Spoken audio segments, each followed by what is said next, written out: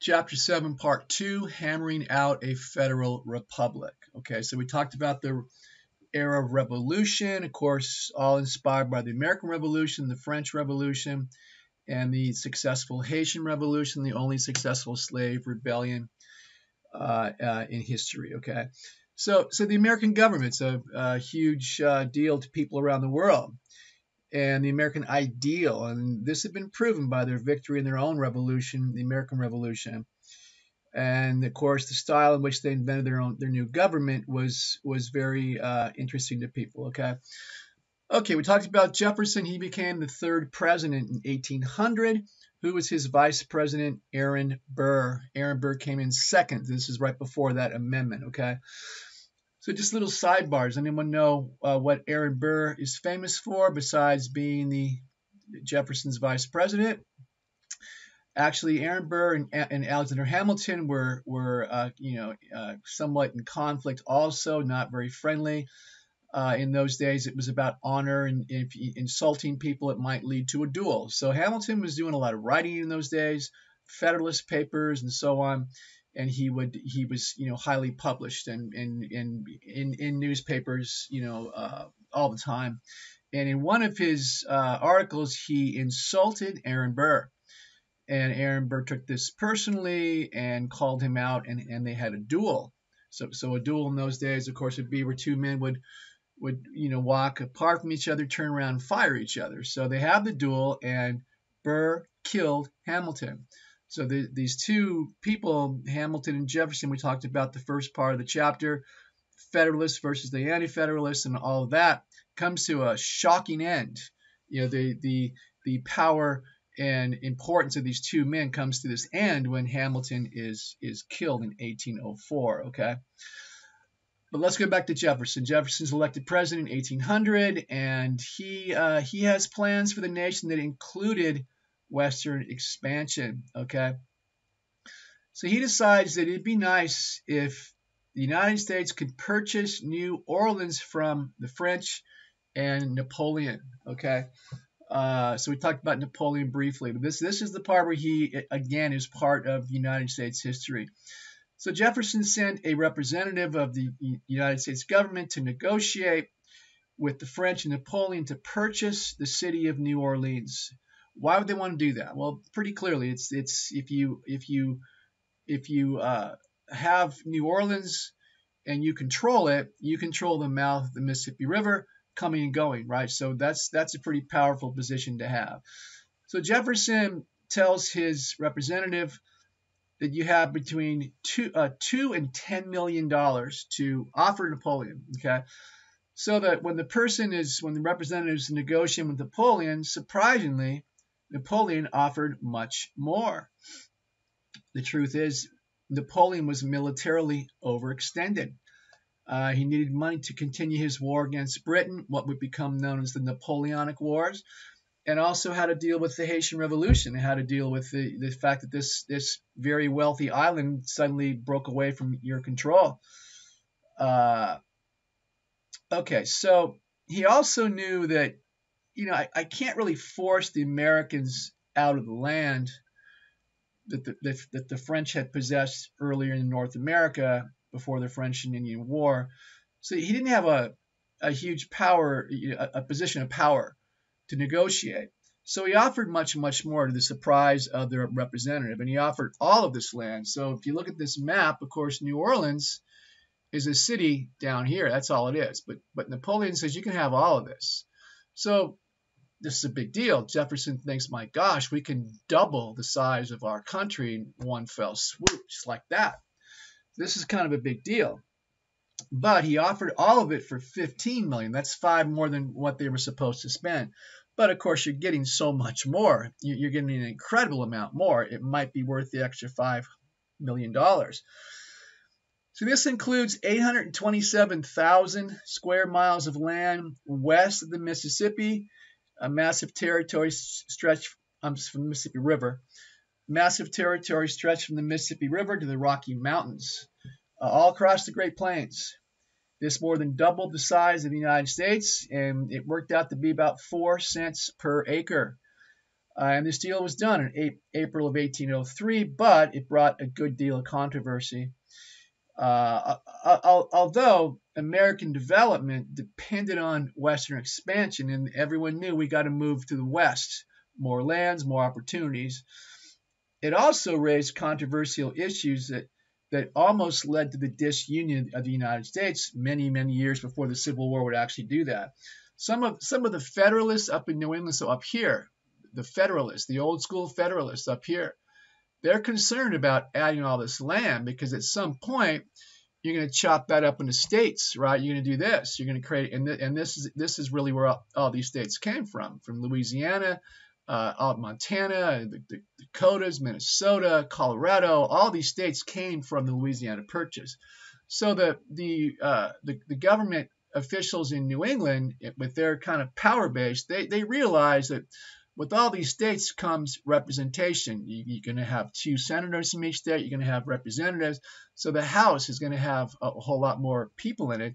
This is going to shift the balance of power to away from us and our small contingency up here, while while very populated, not very big, to, to these people. So they're they're very worried about this, and they threaten to secede from the Union. So in the midst of buying this land, in this great moment for the United States, doubling the size of your of your country, people people are against it. Okay, and they felt that their political power in New England would be would be dramatically reduced by this purchase. Okay, but they also claimed that Jefferson had not followed his own strict interpretation of the Constitution. So if you remember back to the comparison of Jefferson and Hamilton, Jefferson saw the Constitution as to, as to be followed strictly, word for word. So the Federalists claimed the Constitution did not permit the federal government to purchase new land. It doesn't say in the Constitution anywhere you can do that, okay? So Jefferson's kind of up against the wall a little bit. And he was troubled by the inconsistency also. He didn't like it. But in the end, he decided that the Constitution's treaty making provisions allowed him to act, and that's that's how he justified it. Okay. So most of the Senate agreed, and the Louisiana Purchase easily passed 26 to 6. But the, this, this dramatic expansion also contradicted Jefferson's commitment to reduce the national debt as swiftly as possible. Remember, he wanted to pay it off. Hamilton wanted to keep it for credit. So, of course, people, his detractors say, how, how do you expect to pay off the national debt when now we're going to buy land for $15 million? It's going to put us more in a debt course, the argument was made. It's it's a small sum for such a large amount of land. This is kind of a uh, you know a a uh, opportunity here, a windfall profit. Okay, this is something that you, we didn't expect. Uh, but still, it's an enormous price tag for the modest federal budget of the day. Okay, but Jefferson pushes it through, and in this this this land uh, purchase passes. So the Louisiana Purchase highlighted Jefferson's ability to make practical political decisions, although contrary to some of his central principles. Okay, this is what a president has to do sometimes. Um, so, of course, this this purchase proves and guarantees that Western expansion was so important to Jefferson's overall vision. So he took bold action, and the gains were dramatic. And you see the, the image here uh, the territory acquired would in time add 13 new states to the Union. Okay, uh, that would happen over time, not right away. Okay, so you just bought this land. What now? No, no white European individual knew much about these lands. They were mysterious. It, it wasn't the land of the white man. This, this is the this is Native American land that nobody had really uh, explored or or or looked at. Okay. Uh, so Jefferson commissioned the Lewis and Clark expedition in 1803 to explore this Northwest Territory. But interestingly, and, and kind of uh, you know proving his foresight and his his ability to see in the future or, or to plan ahead, see three four steps ahead, he also told them look for a a route that we could potentially build a transcontinental railroad one day. So even in 1803, Jefferson's thinking about connecting east to west by a railroad. This is, of course, 65 or so years before it actually happened. So, again, proving proving the man's intellect, very, very bright individual. Okay. Okay, 1804, about 45 men headed by Meriwether Lewis and William Clark they come to uh, St. Louis and they move up the Missouri River and they start to go into lands that had never been been seen before. They cross the Rocky Mountains and come to uh, the Columbia River in what would be the present uh, day area of Portland, Oregon. Okay, uh, they reach the Pacific Ocean by November of 1805. And of course, this journey, they, they, they learn important information on native people of the area, uh, plants and animals, geography. They, they, they map it. They, they find it's, it's never been seen before by white men. So, so now we have a general idea of what's going on. Of course, they didn't, they didn't look at all in the, in the, in the middle here. And They, they tended to go north, but, but this, this was a big, expedition, and these men were considered to be heroes and returned. Uh, you know, back in 1806, came got back to St. Louis again and returned with great fanfare. This, this, these were these were you know adventurous explorers, and of course everybody liked likes that idea. Okay, okay. Uh, the next issue or next incident we're going to talk about here is the War of 1812. Okay. Uh, Many people call it the Second War for American Independence because you're fighting the British again. Uh, so this is an armed conflict between the United States and the British Empire. So they had the revolution. What would that be? 30, 40 something years earlier, and you won. America, the American colonies won, beat the British. They became independent. Britain was still smarting from this. They didn't like this. This this this embarrassed them internationally. Okay, so along comes this opportunity to fight again, and Britain's all for it. And of course, if they defeat the the Americans, they're going to get their colonies back, and they don't mind that idea at, at all. Okay, so so part of so for the Americans, part of the of their strategy in this war was to prove their independence from the British Empire once and for all. Okay, so what was the what were the conflicts that led to this this battle, this war? Uh, the, the British had been restricting American trade because they feared it was harmful for their war with France. Of course, Britain and France are fighting each other, kind of the way it was back then. Britain and France were always at each other's throats. But Britain thought, the, you know, the, this new United States is friendly with France. They help them beat them. Uh, so they're going to be sending them supplies. So American trade was restricted by by the British. Okay. Uh, and this was, you know, this is kind of part of the uh, the British's plan. They're, they're they're trying to get back into the New World, back to what became the United States, or even west of there. They're still angry about losing the revolution. They had a plan to set up an Indian state in the Midwest uh, in, in order to maintain their influence in the region. And during this war, 10,000 Native Americans fought on the side of the British in this war. Uh, also, Canada was a British colony that also allied with the British. So think about that. We talked about how the Native Americans didn't didn't like the British at all. They hated them, and they they went with the French. Well, the French were defeated in the French Indian War, and then they, you know, okay, we. And then there was a revolution, and the and the English were defeated. Now, now the, the Native Americans don't like the colonists, the new Americans, because they're the ones that are moving west so now they're going to go on the side of the British. So this is history. This is this is the way history develops sometimes. Okay, so of course the Americans objected to the British restricting their trade, and what they objected to was the idea called impressment, British impressment, where you impress somebody or literally kidnap somebody. Uh, and what, what I'm talking about here is where the British Navy would pull up pull up to a ship, board it, and snatch many of the sailors that were serving to, to serve on British ships. And this was happening to American ships. So the impressment of American sailors into the Royal Navy. This was an, most important for many Americans and made them angry. That you're kidnapping our own our own men to, to, to fight in your war. Okay. So under British law, the Navy had the right during the time of war to, to do this, to sweep through the streets of Great Britain, and uh, essentially arresting men and placing them in the Royal Navy, going through the bars and grabbing men and just arrest them and put them in the Navy because you needed men. So impressment cutters, ships would would patrol the harbor and coastal areas, searching for ships returning from voyages with men who might be pressed into service. Okay, so so the law said the Royal Navy could stop English vessels on the high sea, English, and press and press crewmen into service. technically foreigners, Americans, were, were protected from the press, the impressment. But this was often ignored.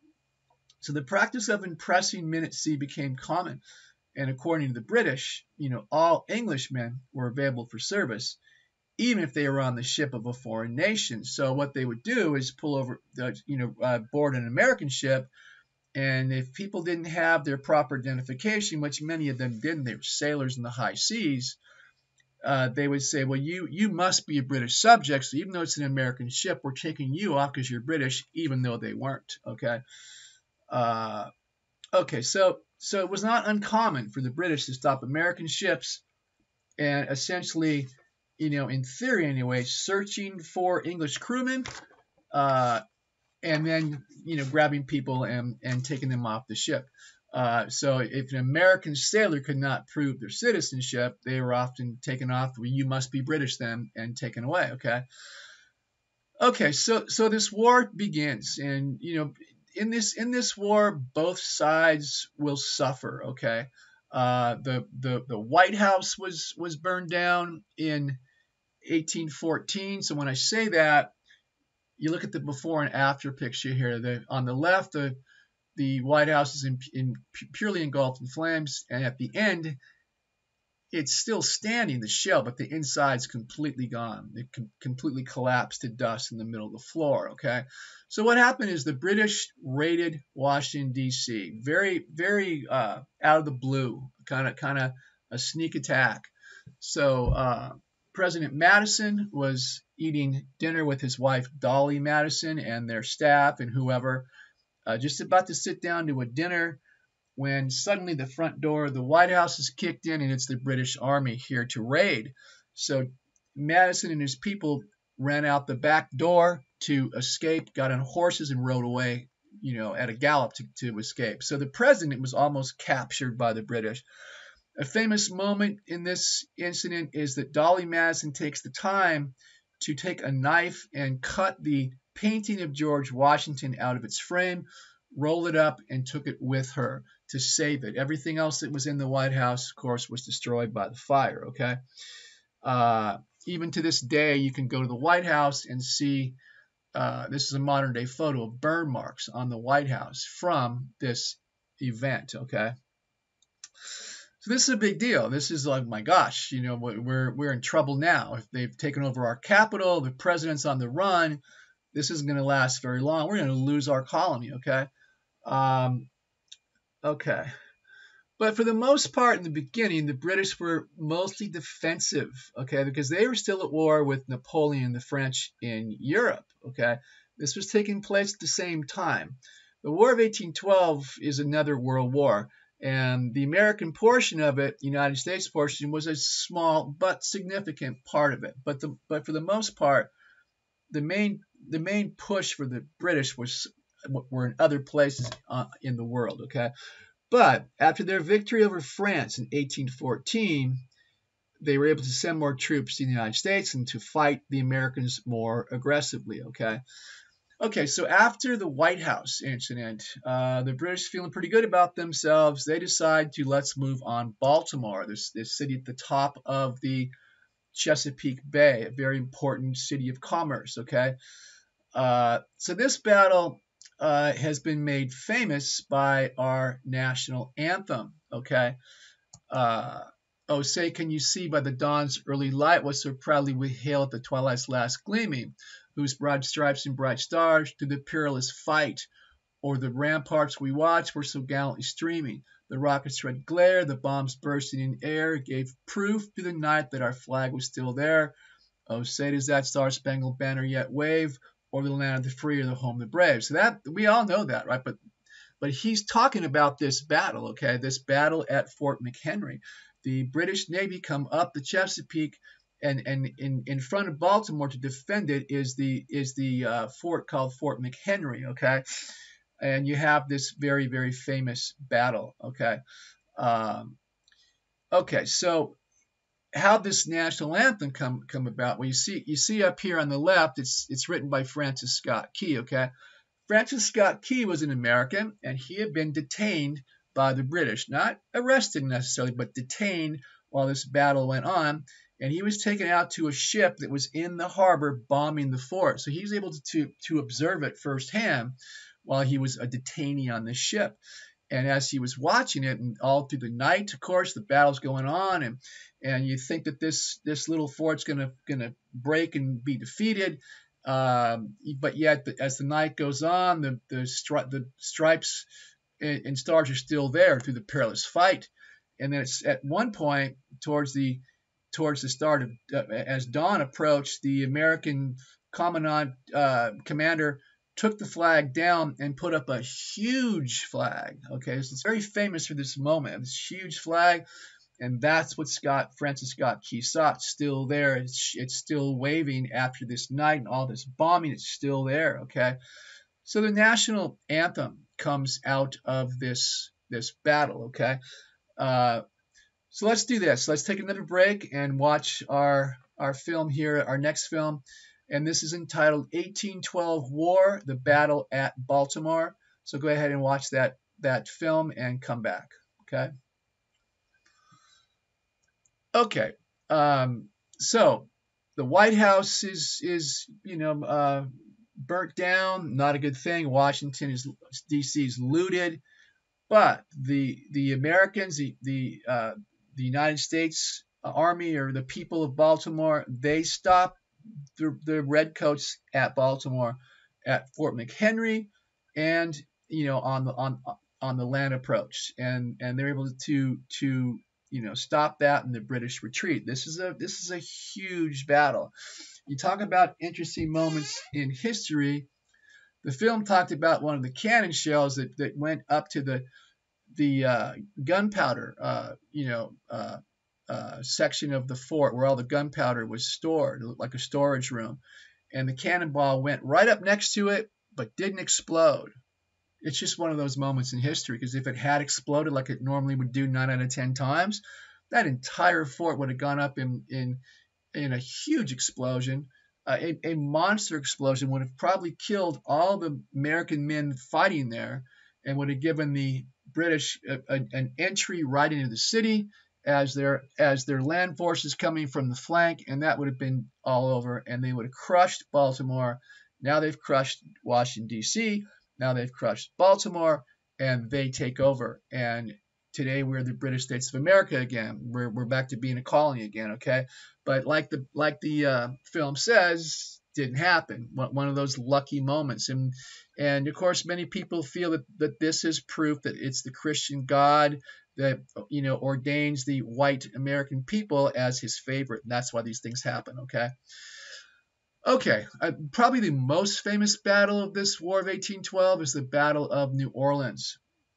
Uh, so this is interesting. We, we, we talked about, when we spoke about the revolution, how long communications could take in a faraway war.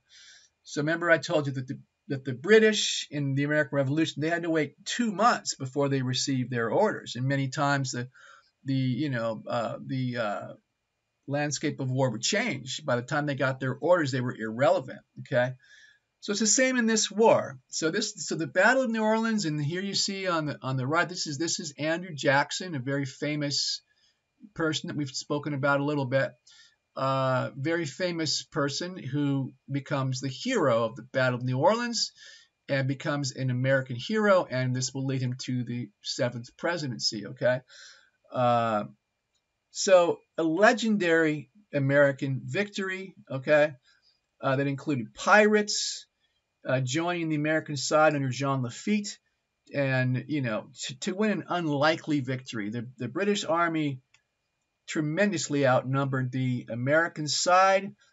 Uh, but a fog came up and they couldn't see, and, and the pirates helped out. And long story short, you have this incredible victory. Very much a David versus Goliath type of battle, okay? But here's the interesting part talking about communication taking two months, okay? The, the, the Treaty of Ghent, that's G H E N T, this took place in Belgium, that ended the war was signed on December 24th, 1814. December 24th, Christmas Eve, 1814.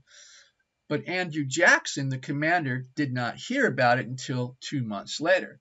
So on January 6th through 7th, and 8th, this battle took place.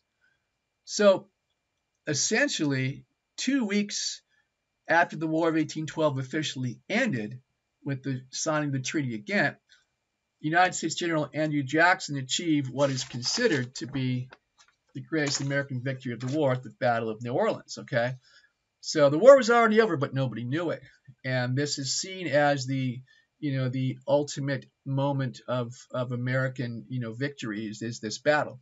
So British casualties in the Battle of New Orleans: 285 killed, 1,265 wounded, 484 captured or missing. So that, that's a whole lot of people. That's 2,000 casualties, almost 300 killed. For the American side, only 13 dead, 30 wounded, and 19 captured or missing. So not very many on the American side, but a fair amount on the British side. And it truly was all for nothing because the war had officially ended, ended on February 7th, 1815, when Congress ratified the treaty. Okay. Um, so well, I'm, I'm sorry. In January, they didn't know that. In February 17, I'll get it. February 17th, 1815, they they finally, you know, that's when they finally found out, and the war was ended. Okay. Okay, an interesting figure that came out of this war is the Shawnee war chief Tecumseh. Okay, very interesting guy. Uh, uh, he had witnessed growing up the border warfare that ravaged the Ohio Valley in the late 18th century. He had taken part in a series of raids on Kentucky and Tennessee frontier settlements in the 1780s. Uh, so he his life he grew up in war also. Okay, he he then emerged as a prominent Shawnee chief by 1800, the same time that Thomas Jefferson was becoming the third president. In 1805, his brother Lala Lalawethika, one of his younger brothers, experienced a series of visions. And this transformed him into a prominent religious leader. So he changed his name to Tenskwatawa or the prophet, but, but previously known as Lalawethika. Okay. So prior to this, prior to these visions, he had been an unassuming man. In fact, he had not amounted to much. Uh, but now he became known as a wise man, a visionary, and Tecumseh saw this as a chance to create a movement and gain some power.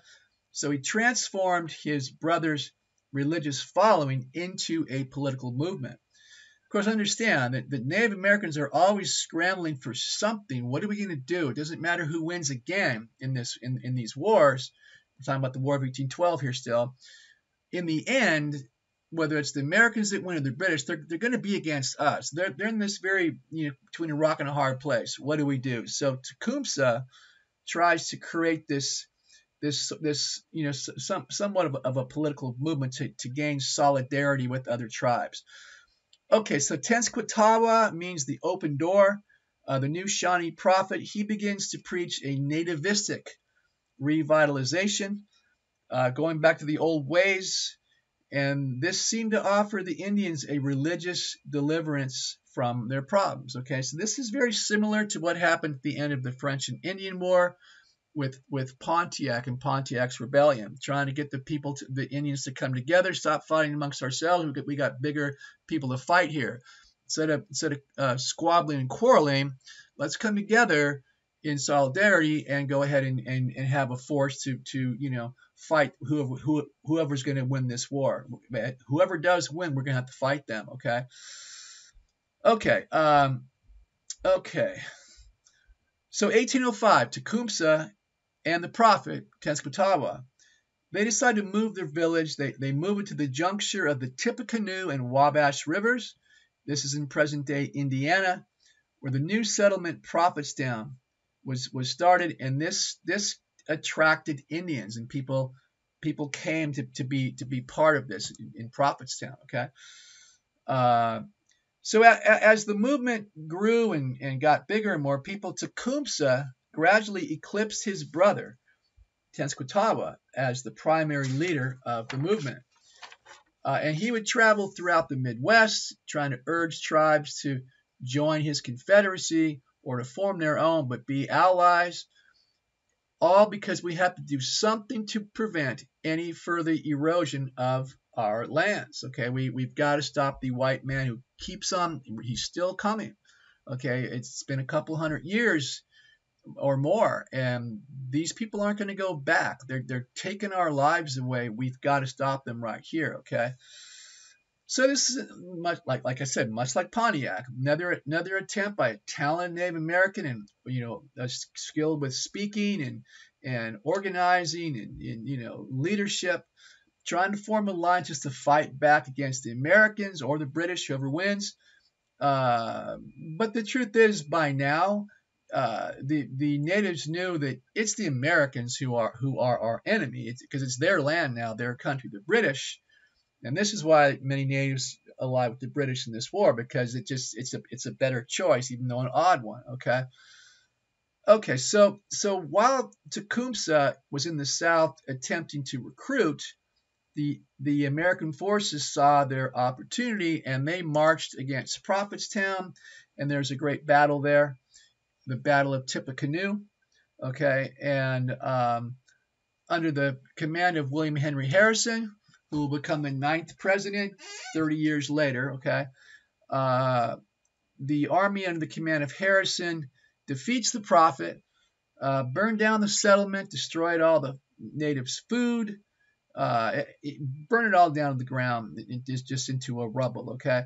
The prophet himself survived, was not killed, but but the people immediately lost faith in him. If you're the prophet, how did that happen? How, how did these people come and, and annihilate us? Okay. Of course, Tecumseh learns about this and returns, learns of the defeat, and is shocked and you know forlorn. Oh my gosh, you know this all of all of our all of our progress is is over. So he begins to rebuild his shattered Confederacy. But but this war breaks out. The War of 1812 breaks out, and he gets swept up in it. He sides with the British because he hated the Americans. Okay. Uh, now again, it wasn't that long ago that he that he hated the British.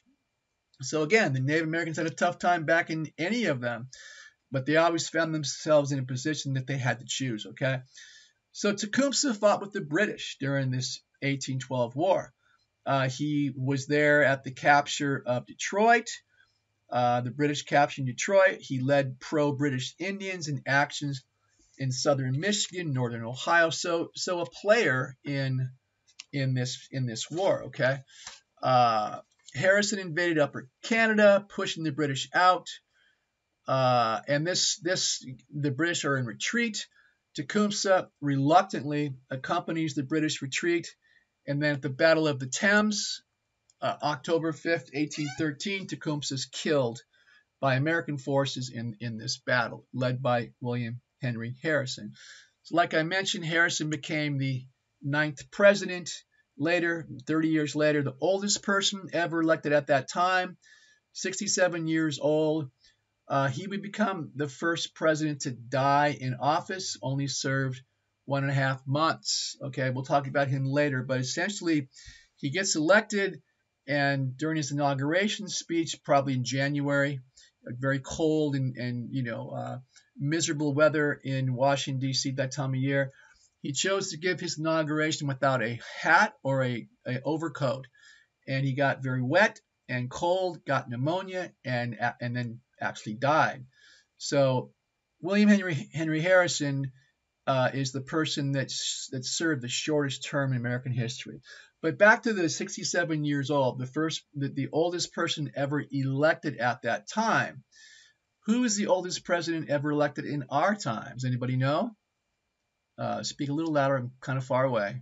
Yes, that's correct. Donald Trump, 70 years old when he was elected. The only person ever elected in the history of America, United States, that was 70 or older.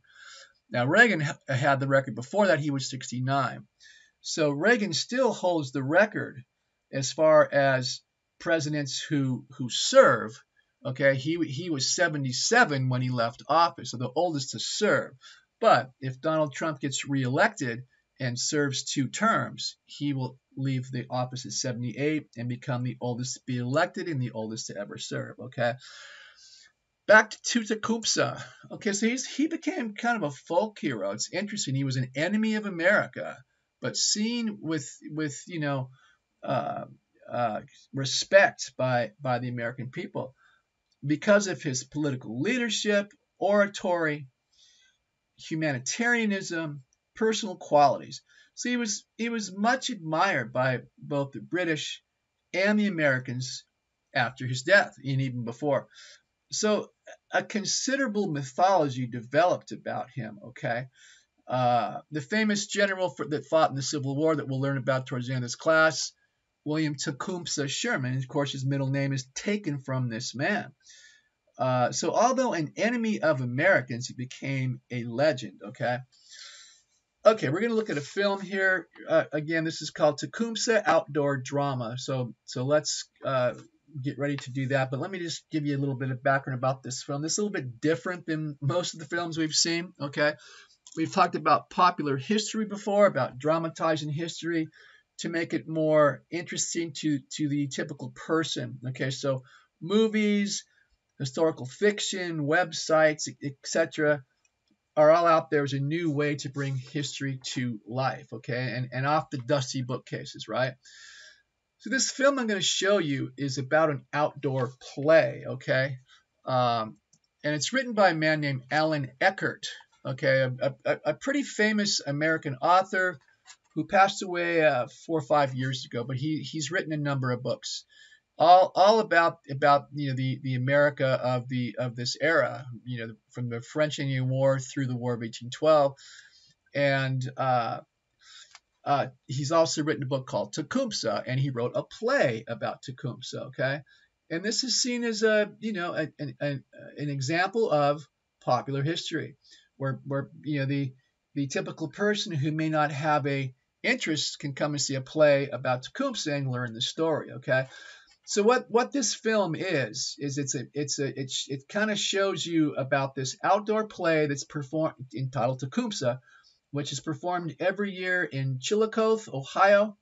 So every year this play is performed on the actual land that these battles took place with Tecumseh and the Native Americans. Okay, so again, popular history is another example of trying to bring history to the people without presenting it in some in some stuffy fashion or in a boring unreadable, scholarly fashion, okay? So go ahead and watch the film Tecumseh Outdoor Drama, okay, and then come back. Okay, so kind of an interesting, you know, just a little bit of a break here with this with this Tecumseh film, just to show you a, another way that that that true history and and you know scholarship type of history, not embellished, not not uh, change, not not uh, its its truth, okay, but shown in a way that becomes more agreeable to to the masses of people, okay. Okay, let's move on here. So let's talk about some politics because who wouldn't want to do that? Okay, we talked about the first party system uh, briefly. Uh, Jefferson and and uh, uh, and Hamilton. Okay, uh, so the election of 1800 comes along.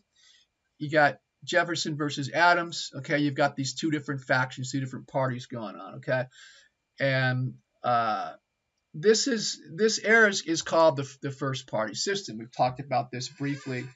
Uh, so what what does this mean? The first party system. Well, first of all, understand that this was not what they called it. This is what we've called it from modern times. As as historians, we look back on the entirety of American history and we we we use these party systems to periodize see that word right there periodize to help us periodize the political party systems that existed in the united states okay?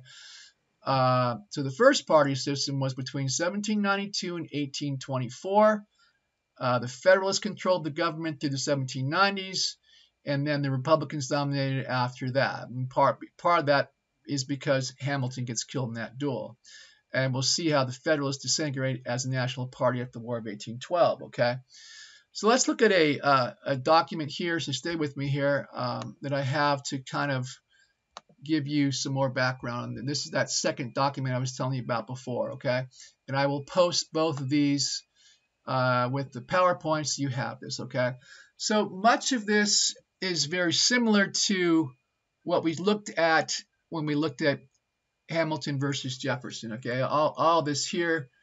Hamilton self-made, Jefferson born to wealth, common people as unable to govern themselves, common people as able to govern themselves. So it's very similar, but this this is what the first party system is. The first party system is Hamilton and Jefferson and that start of that dual system.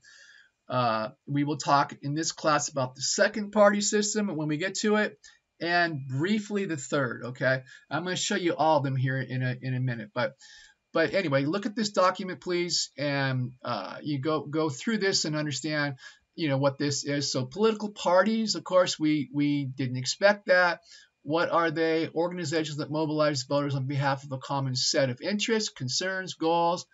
In many countries, political parties play a crucial part in their democratic process. The functions of political parties include formulating political agendas, selecting candidates, conducting election campaigns, managing the work of elected representatives, providing the means by which people can have a voice in government. Okay, so please go over this document and learn this. Um, most of this from here down is similar to the other documents. I'm not going to go over that again, but but please just kind of uh, please uh, look through it briefly, okay? Okay, and here at the end, and this is this is kind of how this all breaks down, okay? How the parties become what they are. We we've always had the Federalists, and we have the Republicans of of, of uh, Jefferson or the Anti-Federalists, okay? Uh, the Federalists and a portion of the, of the, original Republicans, they start the National Republican Party over here. So the Republican Party and a Federalist Party splits. Half half start the Democratic Republicans and half join the National Republicans, and the Federalists join them too. We, we will see how the Federalists are somewhat just fall out of power, as, as we'll find out. So the point is, you, you end up with two different parties: the National Republicans the Democratic Republicans. So we're getting we're getting close to how we how we fashion ourselves into what we have today. Okay, and essentially this this will remain the, the Democrats to this day, but the National Re- Republicans they will become the Whig Party as they as they fall out of out of uh, favor. They start the Whig Party, and that would then influence the Republican Party. This is where both parties that we have today start from. Okay. So that's all part of this document. Uh, please look at this document thoroughly and, and, and know it. You'll be tested on, on this, okay? All right, back to our PowerPoint here. Oops, excuse me. Where was I there? Okay, so here is a list, and this is not something you'll be tested on, but just for those curious, I mentioned the first party system. We're talking about the era of Jefferson and Hamilton. The second party system we'll get to very soon is the era of Andrew Jackson, Henry Clay. The third party system that we won't see the, the uh, through to its entirety, but we'll touch on it. This is where the Republican Party comes into play, and you have Republicans versus Democrats that we still have today. Okay, For, and just just so you know all the rest, the fourth party system is is the is an era of Republican dominance. Okay, the fifth party system is the era of Franklin Roosevelt's New Deal that comes into the 1960s. And the sixth party system, which we're still still part of today, uh, 1960s to the present, is mostly known for the Reagan coalition. Okay, uh, and that of course all, all, all of that from the fourth on are, is a uh, the, is the next the, the next half of American history class, not not our class. Okay.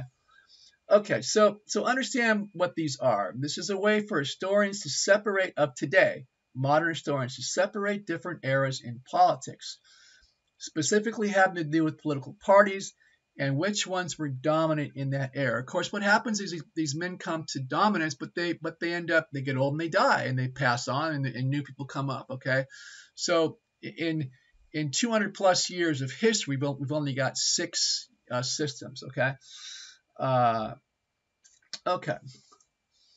So again, you won't be tested on on all of those. Okay, okay so let's talk about this two-party system idea. We've talked about it before, but uh, let's watch our next film. This is entitled How Did the U.S. End Up with a Two-Party System?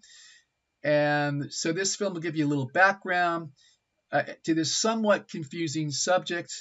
Uh, and it also gives us a modern day perspective on it. Okay, so go ahead and watch that film, How the U.S. End Up with a Two-Party System, and then um, come back here and we'll and we'll keep going, okay?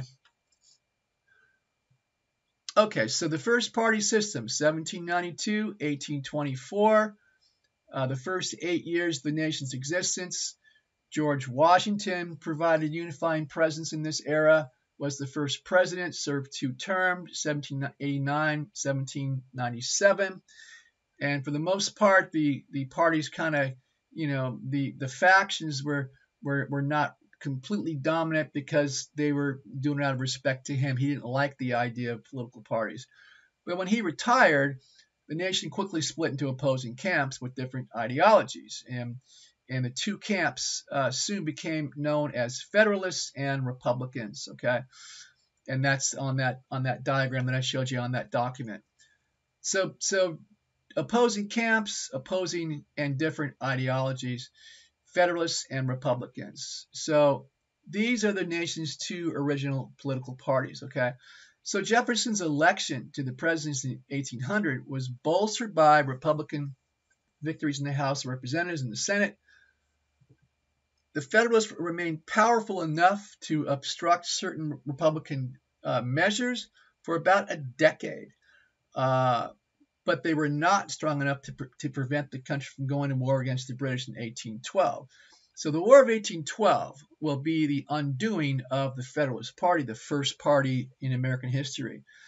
Uh, they, the Federalists, the Federalists were vehemently opposed to this war, and their continuing opposition to it, even after it began, severely damaged their viability as a national party.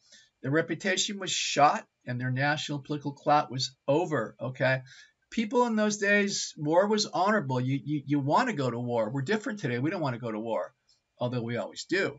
But in those days, it was about men go to war to prove their prove their honor. Okay, uh, so the people turned against the Federalists who were against the war.